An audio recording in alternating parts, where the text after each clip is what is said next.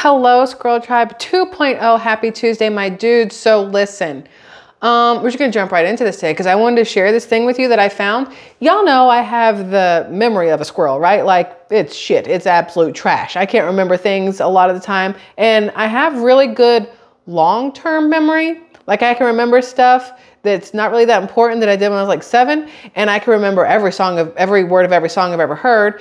Um, I can't remember what I had for breakfast yesterday though. Don't ask me what I wore last Friday, and don't ask me what tea I drank yesterday. I don't know. I will forget things all the time. You guys have seen it happen when I'm trying to talk and a word just will not make its way from the back of my brain to the front and out my mouth, and it annoys the absolute crap out of me.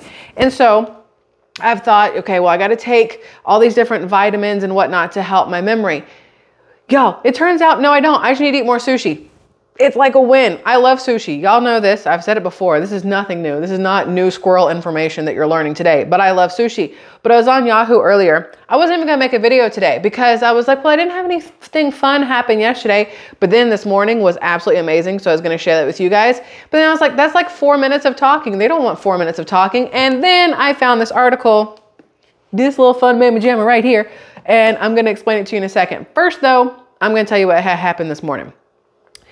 So yesterday we did the live stream Mimosa Monday, 5 o'clock Central Standard Time. And for those of you who were here, you heard me talking about how I have slept on the couch numerous nights in a row, not because the man and I are fighting, not because I hate my bed, but because he's been snoring because he's been sick. Normally I wake up maybe two o'clock, four o'clock in the morning to the aggressive snore and I'm like, yeah, I'm just gonna go out to the couch and I'll grab my pillow, put on some, some sleep pants, go out to the couch, throw a blanket over me, turn on a ceiling fan, call it done, right? Well, last night we laid our heads on our pillows. We'd get our kiss goodnight, I love you, whatever, and laid down. And I was closing my eyes and I was counting the sheep and I got to three and I heard, and I was like, it's literally like 1040. What are we doing? It was so early. And I was like, no, this isn't going to work. So I poked him.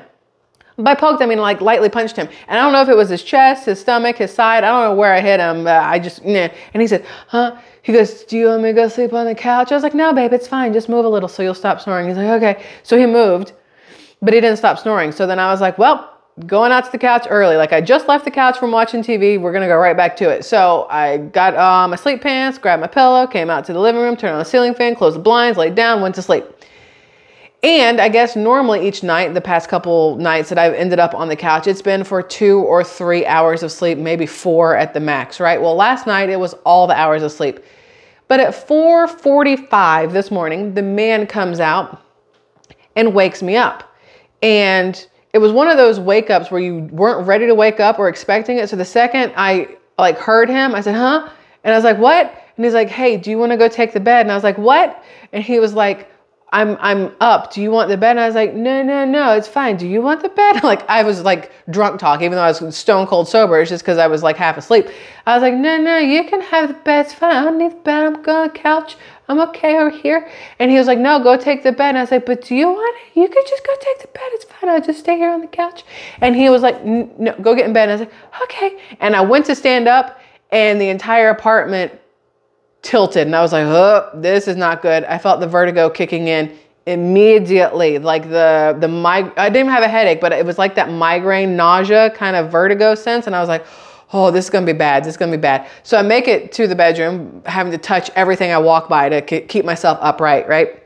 And I get in bed and I'm sitting up and I'm like, what do I do? Do I want to lay on my left side or don't want to lay on my right side? Or you don't want to lay on your back, you'll vomit and die. Like, what do you want to do? So I was like, okay, I'm gonna lay on my left side. So I lay on my left side and I was like, nope, that's not gonna work. So then I turn over and lay on my right side and I'm like, that sucks a little bit less. So I, I laid on my right side. My alarm finally went off at 6.30 and I turn over and I turn off the alarm and I look at my phone and I have a text from the man who at 4:45 as I climbed into bed sent me an I love you, but I missed it because I was trying not to vomit in the bed from dizziness. So I reply back, I love you too.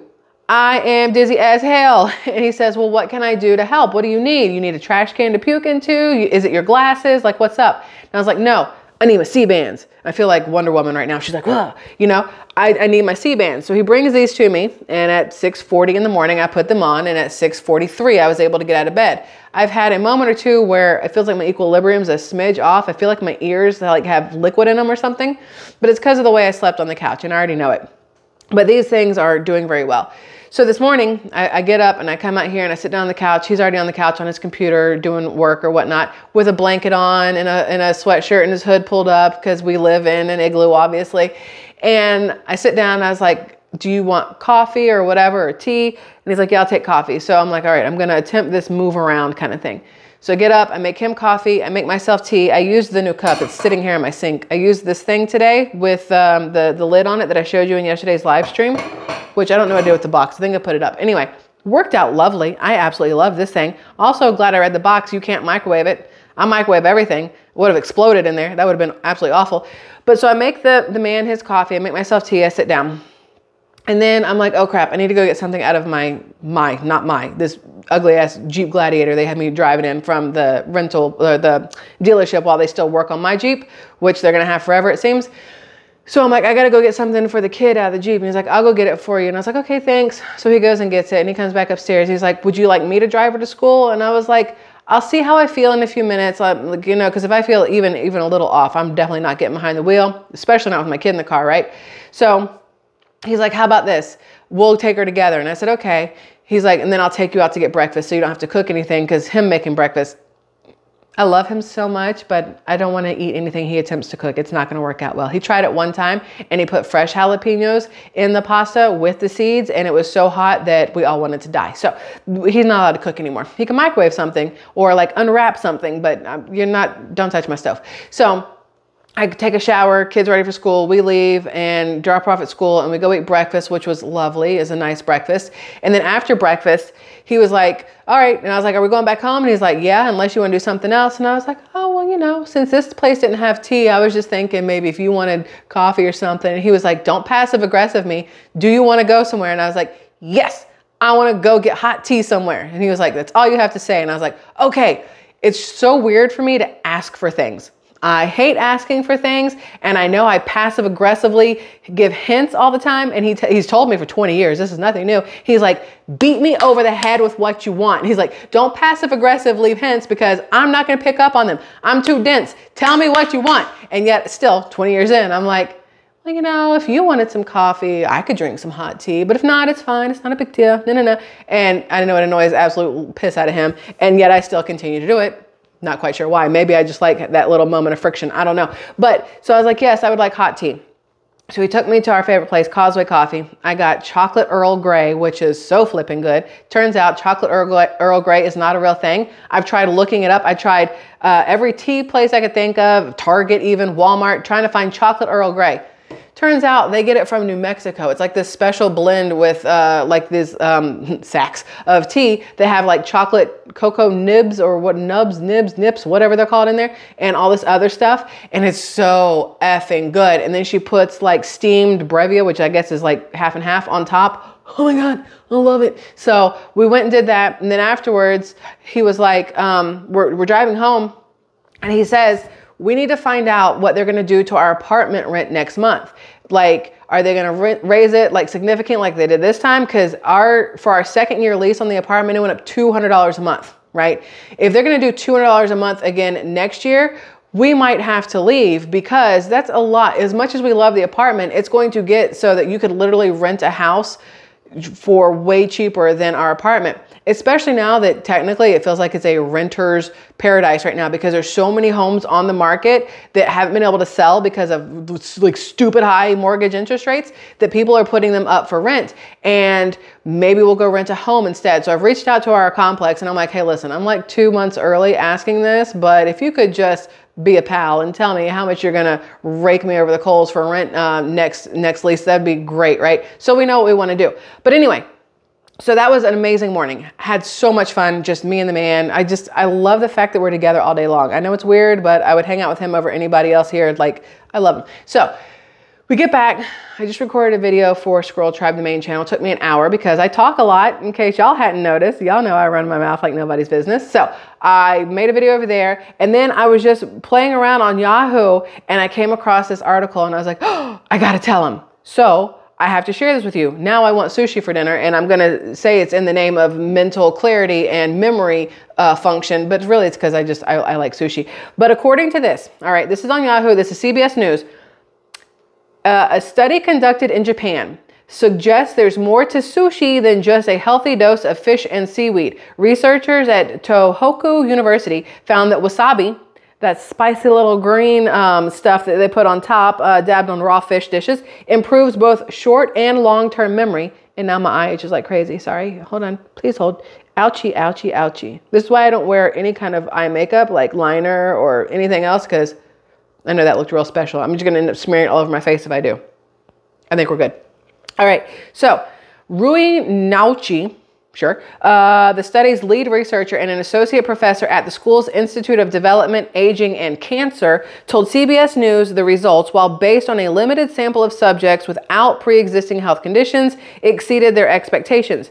We knew from earlier animal studies that wasabi conferred health benefits, he said in an interview from his office in Northeast Japan. But what really surprised us was the dramatic change. The improvement was really substantial. The main active component of Japanese wasabi is a biochemical called 6-MSITC, a known antioxidant and anti-inflammatory known to exist in only trace amounts elsewhere throughout the plant kingdom. Nouchi has said the double blind randomized study involved 72 healthy subjects aged 60 to 80. Half of them took 100 milligrams of wasabi extract at bedtime, with the rest receiving a placebo. After three months, the treated group registered significant boosts in two aspects of cognition, working short-term memory and the longer-lasting episodic memory based on standardized assessments for language skills, concentration, and ability to carry out simple tasks. No improvement was seen in other areas of cognition, such as inhibitory control, the ability to stay focused, well, crap, um, executive function, or processing speed. Well, don't give it to all us HD or ADHDers out there. I don't I've never been like diagnosed with ADHD, but I've also never gone to the doctor for it. And I'm pretty sure I don't have ADHD. I just have way too much going on in my head and I talk a lot. That's not ADHD, just so we're all aware, I don't think. Subjects who received the wasabi treatment saw their episodic memory scores jump an average of 18% uh, and scored an average 14% higher than the placebo group overall. The researchers theorized that 6-MSITC reduces inflammation and oxidant levels in the hippocampus, the area of the brain responsible for memory function, and boosts neural plasticity. Compared with the control group, the study said subjects dosed with wasabi showed improved verbal episodic memory performance as well as better performance in associating faces and names, which is often the major memory related problem in older adults. Wasabi is a member of the mustard family of plants the fiery condiment. Every time it says fiery condiment, I just picture cha cha cha. I don't know why. Anyway, the fiery condiment paste made it uh, made with it became prized in Japan centuries ago for its antimicrobial properties, which make it capable of killing off foodborne pathogens such as E. coli and Staphylococcus. uh, anyway, while its flavor and aroma complemented seafood. A specialist in dementia prevention, Nouchi landed on wasabi treatment after finding high dropout rates with conventional methods of preserving brain health, such as the Mediterranean diet, exercise, and music therapy. A daily supplement he decided would be more sustainable, especially for seniors, while offering more benefit than any other anti inflammatory antioxidant spices such as ginger and turmeric. The Tohoku University team aims to test wasabi on other age groups and explore whether the spice can slow cognitive decline in dementia patients. But here's the rub. The tangy paste served up uh, at nearly all sushi bars, even the ones in Japan, is almost certainly an imposter. For far more common than the real thing is a convincing fraud, especially made of ordinary white horseradish dyed green, which is what you'll get at any of your little mall food courts. They're like, would you like some wasabi on the side? And it comes in a little squeezy pack. That's not wasabi. Native to Japan, wasabi is notoriously difficult to cultivate. The plant takes nearly two years to reach maturity and requires exacting temperatures, shade, gravel, and water conditions. It costs more per pound than even the choice tuna it sits on. Gen, uh, genuine wasabi must be consumed fresh with the stubby rhizome or stem of the plant grated tableside just before eating. On the plus side, just a small dab offers the same benefits as the capsule supplements used in the Tohoku study or 0.8 milligrams of 6-MSITC. Now, the, the study was published in the journal called Nutrients, and there was um, really good feedback. I can't read the rest of that, but if you go to an Asian inspired store, a lot of times they will have small, like literally like tiny little containers of legit wasabi. Explain to me, or don't judge me, or I don't even know how to phrase this. When I go in there and I buy one and I try to eat that whole thing at once and my entire face is on fire and my nose passages are just done, I'm doing it for my memory. I'm doing it for you guys. I'm doing it because I love you and I want my memory to remember you. so, for those of you who are having um, issues with certain short-term, long-term memory things. I, what, do, what do you guys do? Because I'm 41 and I, I, blame a lot of it on the motorcycle accident I was in. I've talked to you guys about it. I had a, a, slight skull fracture, but I was, I was out for a little bit because of it. And it seems that since then I've had a much larger issue of trying to remember certain things, certain words, things like that. I could blame it on, you know, when I went vegan for a few years, not getting enough B12 and things like that. I have felt much, much better in the last, um, I would say eight months months since I went back to eating meat. I once or twice a week I will take sublingual B12 uh, drops, but most of the time I'm getting it from the foods that I'm eating or my multivitamins. I just like to once or twice a week give a little extra B12 boost. Um, and I've cut out coffee. I have not had coffee except for twice in three weeks. I've just been drinking low caffeine uh, hot tea, green tea, sometimes black tea for breakfast because it has a little higher caffeine content. But I do that maybe twice a day. And I'm still not hitting as much caffeine as I would have with just one regular morning coffee. Not even to throw in the fact that I would normally have two, three, sometimes four coffees in a day, which I think had a lot to do with, you know, when I was like extra jittery squirrel or whatever else. I feel like I'm much, much calmer I still talk fast as I'll get out and still have tons of stuff going up in my head. But I feel like just getting rid of the coffee has helped immensely. I haven't had nearly as many brain fart, brain fog moments, I don't think, where I have had issues recalling words, maybe once or twice um, in the past week or so. Um, but if I can go out and get some wasabi and, and see a difference there, I'm gonna do it. I, I will I will pay for some wasabi, like that, that good wasabi, that off the street wasabi. You know what I'm saying? Y'all know what I'm saying. If y'all know a wasabi dealer, hit me up uh, so I can get the good stuff and try to help my memory a little bit that way as well. So that's that. Squirrel Tribe 2.0. I love you guys. That's all I had. I wanted to tell you about my morning, and I wanted to tell you that if you go eat some real wasabi, not just horseradish dyed green, it could help improve your memory because the more you know, you know? So there's that. I love y'all. Have a fabulous rest of your Tuesday. My dudes, I'm gonna see you tomorrow on hump day. Be excited.